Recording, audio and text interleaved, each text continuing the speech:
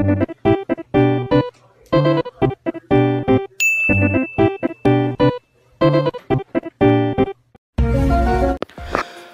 guys, welcome back to my channel guys ya. Nah, di video kali ini cara kita untuk mematikan suara screenshot di HP Xiaomi 4X ini ya teman-teman ya.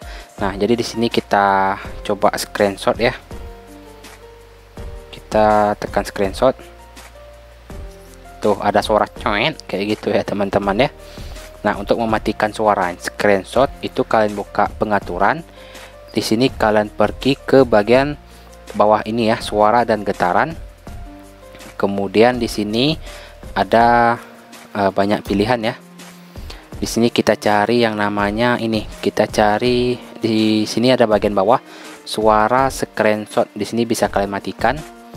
Nah setelah kita matikan tekan kembali sekarang kita coba screenshot lagi kita tekan nah sekarang sudah tidak ada suara ya ataupun dia sudah senyap Nah, seperti itu ya teman-teman ya.